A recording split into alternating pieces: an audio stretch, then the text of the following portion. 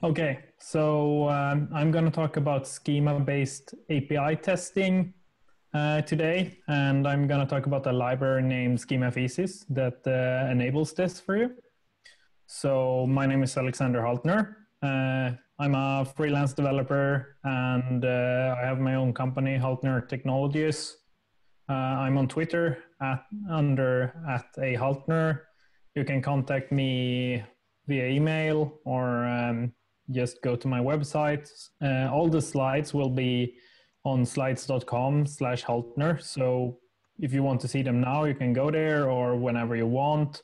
And uh, I, all these blue links, they, uh, they are clickable. So if you go to the slides afterwards, you can go to all the libraries I'm talking about and uh, all the links I have attached in my slides.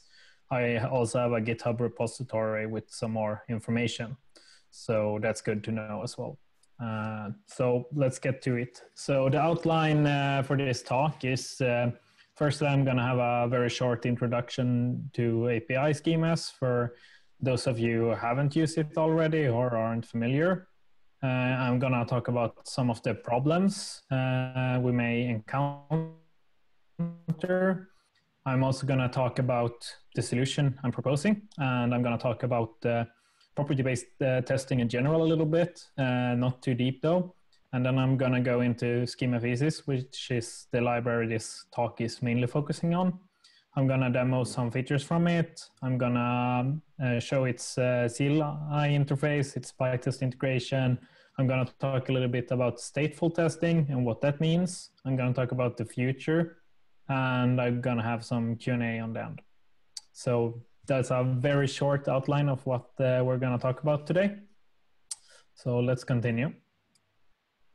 Uh, so API schemas, uh, a lot of you probably already heard about them, uh, but basically what they are is a specification for your API.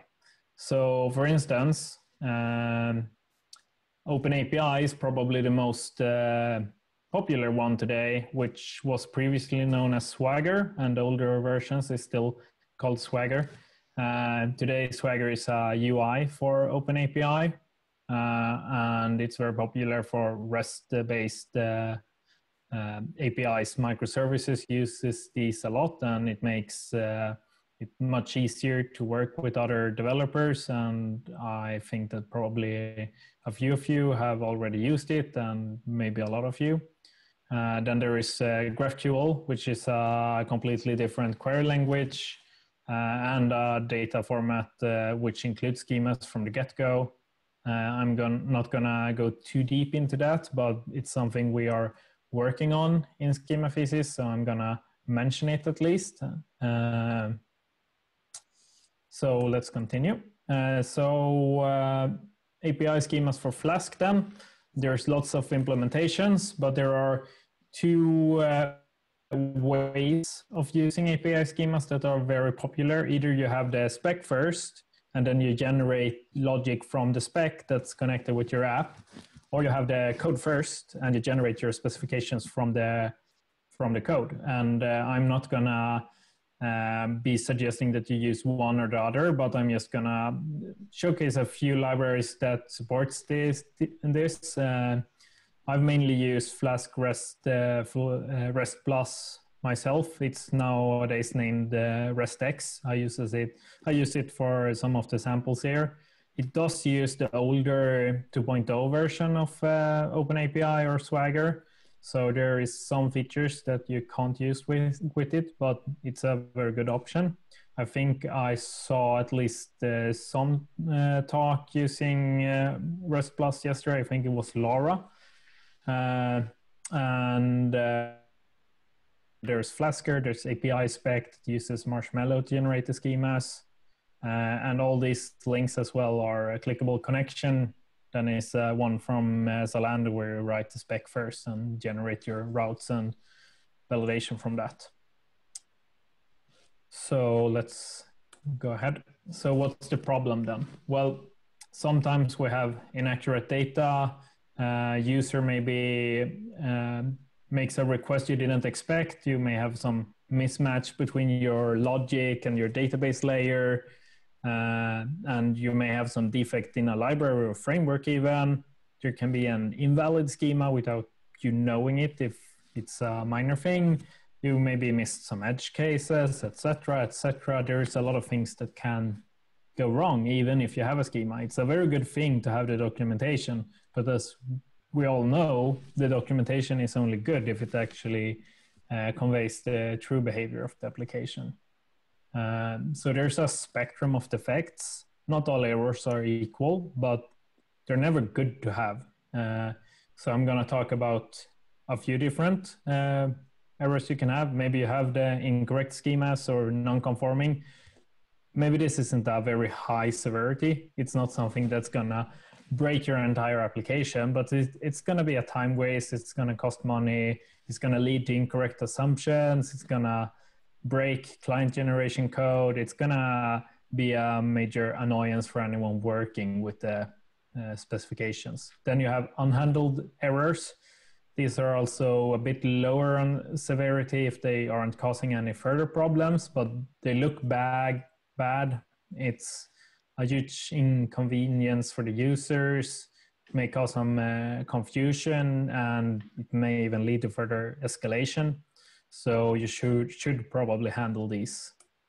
And to take it one step further, you have logic errors. These can uh, lead to much worse things. So these are medium to high severity maybe you can get some data corruption um, and the data maybe gets more and more corrupted when it goes through your api maybe you load some data a time zone for instance. You do an incorrect uh, assumption about the time zone used and then you put it back into your api and it comes out with an offset of an hour and you run it through like 100 times and it's several days wrong. I think we have seen similar problems in real applications you can have incorrect behavior uh, or maybe crashed application if it's really bad. Or uh, for instance if you have a shopping system or a cart maybe you can allow for negative billing or incorrect billing. I've seen uh, e-shops allowing you to buy uh, minus, uh, 10 computers and you get a negative price on your whole checkout. So that's not not great. Uh, and then you have security problems, and these are high to critical. So maybe you have denial of service, making your service unavailable for users. Maybe you leak data, and then the EU won't be happy with you, and your users won't either. Maybe there's an authentication bypass, which is really bad, or even remote code execution, which basically lets them use your computer for whatever they want. So these things aren't great and we want to avoid them. So how can we detect them then? Of course, we can use testing. Uh, and uh, the solution I'm uh, proposing today is that we use property-based testing, uh, which is great at finding corner cases. It lets uh, your computer do most of the heavy lifting. So instead of defining every single example, it will generate lots of examples and just makes sure that they follow your rules. So hypothesis is the de facto standard in Python for property-based testing. It's a really good uh, library and a property is a model of the behavior of your application uh, given a certain type of input. So this is what we need to be able to use property-based testing.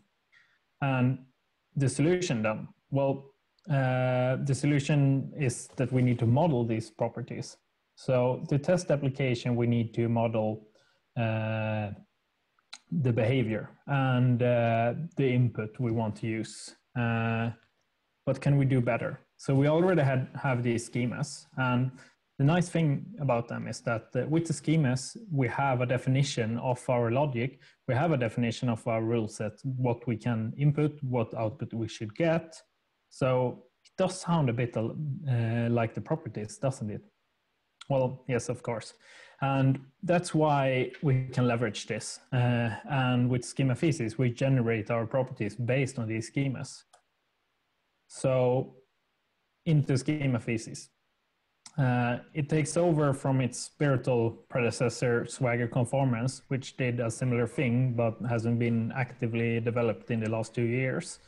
And both are based on hypothesis and are and the Schemathesis is inspired by the QuickREST uh, research paper that uh, details a lot of findings and smart uh, things you can do to generate better properties. And I recommend reading it for anyone who have time over and uh, think these things are interesting. It's not too long. Um, and uh, the nice thing is that it allows us to automatically generate all the test cases based on the specs we already have. So it turns out that we already know quite a bit about our application. We know that the application should respond, the server shouldn't crash. We know that stateful links between objects should behave in expected manners. Uh, this is a new feature. Uh, we know that uh, if we create a resource, query it, update it, delete it, it should be consistent with uh, each other. So we can use this to find uh, more information, etc. Uh, and here we have a example uh, showing uh, some of the logic we, we can know for any applications. We know the status code should always be under 500 if something hasn't gone wrong. We know the, the status code should be in the endpoints allowed response codes. Uh, and we know that the content type should be an allowed content type for the endpoint. We know also that the content of the actual data should match the schema specified for that endpoint. So just using this, we can do a lot. Um, so I'm gonna show a quick demo. Uh, let's hope nothing breaks because demos are always a problem, but I'm praying to the gods. So uh, let me do this. So here I prepared a short example. I'm just gonna use uh, use uh, a test application, which is the Flask uh, RESTX uh, uh, example from their documentation. It's the same from, from REST Plus. So it's a basic to-do application. and we don't need to go into the code further. and let's run the server. So I'm using Poetry and now I'm running it. So now let's try running uh, some tests towards it. So we have uh, a make file uh, where I have already put up some stuff. Uh, basically, we want to run Schemathesis um, with HTTP against the server we just set up right now. Uh, so let's try this out and let's see what happens in the log over here. Uh, so I'm running it, and as you can see, it's hitting our API with a lot of stuff. And as you can see here, it's doing some tests to the different endpoints we have, and it have performed the checks for all these, and it's successful. And then there are, as you can see, we can also run it directly by importing the code. We have some stateful testing. I can uh, uh, run this like this, and now you will see that nothing comes up in the log because it's importing code directly so I can close the server and it will still work. So this is a quick demo. Basically, you can see that it's trying a lot of different things. It's using negative numbers. It's uh, basically, it's using zeros. It's uh, using very big numbers. It's using small numbers. It's uh, really trying to find the stuff that's going to to break the application it just randomly generates a lot of stuff. So very nice in my opinion. Uh, so as you can see, lots of random requests, random data generated for us, uh, and uh, yeah, quite useful. So quick feature overview. Uh, there's a lot of features and more is coming. You have a CLI interface, built-in WSGI support. It's the import thing you saw right now. An HTTP interface. I showcased this as well very quickly. It's uh, language and framework agnostic, so you can use it with whatever language or service you want. You have a PyTest interface, so you can write your own properties and tests in PyTest and extend uh, that way. You have stateful testing. I will talk a little bit more about this. Fix-ups, uh, I won't go too deep into this, but it basically allows you to add some fix-ups for non-conforming uh, uh, so you can go ahead and keep using them. For instance, Fast API uses some features from the unreleased uh, OpenAPI 3.1 version. So there's built-in fix-ups for that. Uh, hooks, so you can uh, have a global hook, a test hook, a schema hook, and extend the behavior uh, or customize the behavior of Schemathesis targeted property-based testing this basically based you uh, lets you search for a defined goal so you can combine the randomness with more traditional search patterns for instance response time or something like that. You can record vcr uh, cassettes which is great great because if you have tooling already using vcr you can use it with hypothesis or with Schemathesis and uh, there are some extra fields. You can replay the recorded uh, cassettes. So let's go into the CLI interface. Uh, basically, you have most of the options very well documented under the help flag, and there's a help flag for different uh, subcommands as well. Uh, very comprehensive, but a minimal example here, we run Schemathesis an endpoint uh, on localhost, and we point it to our Swagger schema. And as you can see, it starts to run the tests and you get some output. Uh, and then we have the WSGI ASGI interfaces as well to import implication applications.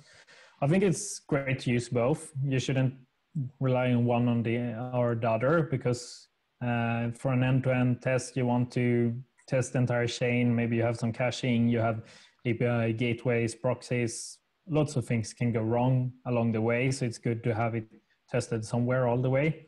Uh, but you also have the WSGI ASGI interface, which is very useful if you want to do quicker testing. It's much faster. You can use it locally or just test the merge uh, request, pull requests. Uh, yeah, just to do faster tests. Here's a WSGI example. So basically, instead of uh, adding the endpoint, uh, for uh, the URL, we instead have the import path, basically the same you would use with Gunicorn or whatever, and then the endpoint for the schema on the imported one. So the HTTP interface um, is framework and language ag agnostic, so it's uh, what you have to use if you want to use it with something else than Python or ASGI, but it's great because you can use it with COBOL if you would have a COBOL interface with the API schema adopted, but maybe. Uh, and uh, then we have the PyTest interface. So Schemathesis can be used to generate strategies for PyTest, and we can uh, define our own properties. The built-in checks is uh, not a server error, status code conformance, content type conformance, and response schema conformance, but maybe you want to extend it with, say, complex business rules you may have, or maybe you have a response time SLA rule you want to enforce, or maybe some special authentication uh, uh, properties you want to make sure hold true. So that's very nice if you want to go and do those things. And uh, to use it, you need to use it basically like this. So it works like a fixture, and you have the the schema per, parameterized uh, decorator and then you have the case here, you run the case.call, uh, and uh, then you can validate the response. This actually just uh, does the same thing that the internal one does to check that your status codes never go beyond 500, but it's great to just show how easy it can be to work with it to extend it using PyTest. And here we use it from a URI, but you can use it with uh, with importing as well. There's more information about that in the documentation. So quickly, stateful testing. I see that my time is running out, so I will do this quickly. Uh, so it's shown to enhance uh, detection. Basically, as I said before, you can use the objects you created to run further tests against. You reach deeper into your code base. You find those more tricky things and it's still optional. It's not done by default. It doesn't work with the old Swagger extension of the uh, Swagger implementation out of the box because it doesn't support links and it requires links. But there's a Xlinks extension you can use and then then it works, but you have to define this yourself. Uh, and it can look something like this. So here you can see post to users and gets the same user using the user ID, it patches it, uh, patches it again, gets it, patches it, and so on. Uh, so the future then, well, we need more help to grow. The documentation needs to be more improved, more people talking about it like I'm doing here today. Uh, GraphQL support will be really nice when it's more mature. Schema standard uh, should be agnostic. So further ahead, it shouldn't be limited to Swagger and uh, OpenAPI 2 and 3. Uh, OpenAPI 3.1 is coming, so support for that will probably not be too hard, but it should be working as well with the older versions. Uh, faster test generation is being worked on. Uh, we want to grow the community and of course uh, so concluding, spend less time writing tests, cover more, let your computer do much of the heavy lifting, gain, deep, gain deeper confidence in your services. More things are coming, it's actively developed, a growing community, and you should try it out.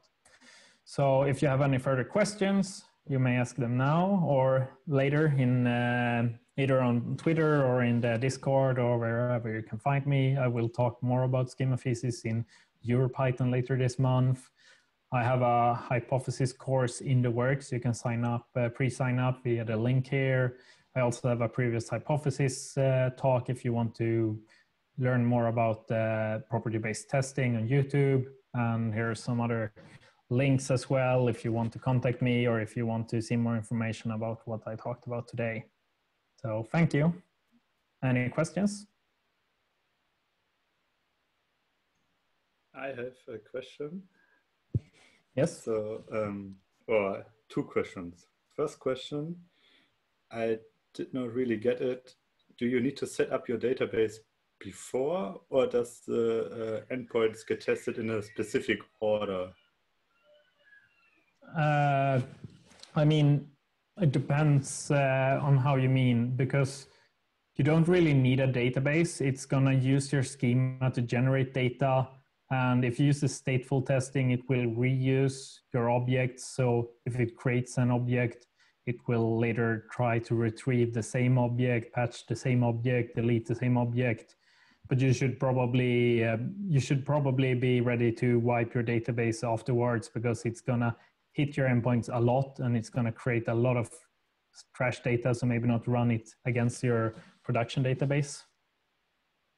Ah, okay. So so to uh, so it will start with, for say, all post requests, and then it will, or do you have to specify this order?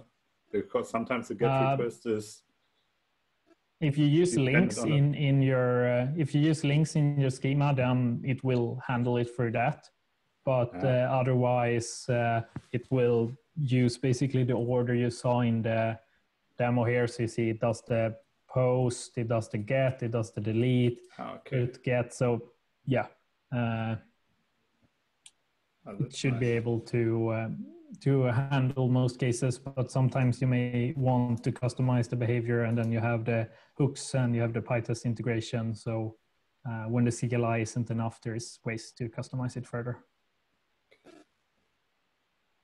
I have also another question. I don't know if there are any other questions but okay, I, I will continue. I have another question. Is there something like, I don't know if it's possible, but something like coverage?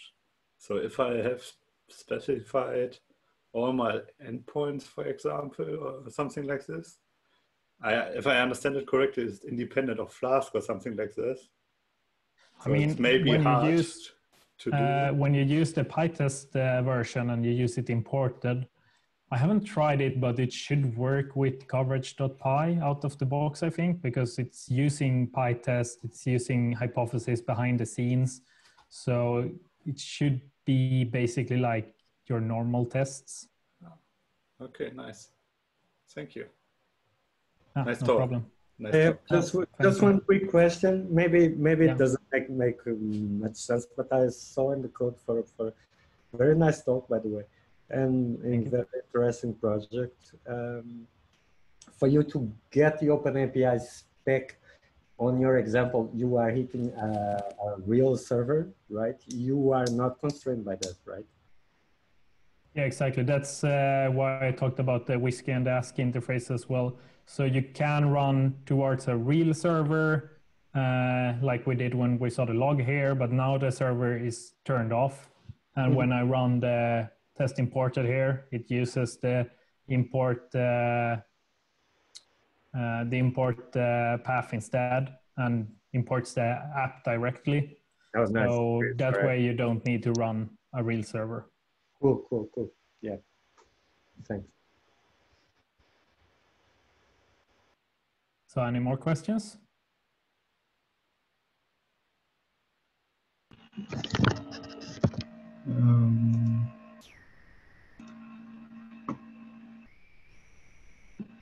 I think we do not have any more questions.